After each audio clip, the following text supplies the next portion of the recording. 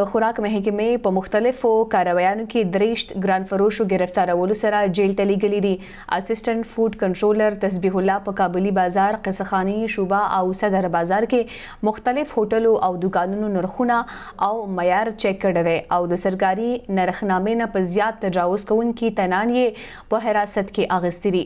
په دې موقع اسسټنټ فوډ کنټرولر تسبیح الله ویلي چې د اعلی چارواکو په هدایتو په شهري او کلیوالو علاقو کې کارویانو سلسله تیزه کړې شوې ده د ویل چې ګران فروش ته خپله قبله سیده کی که داسې نه وي داغي خلاف به سخته کاروي کولی شي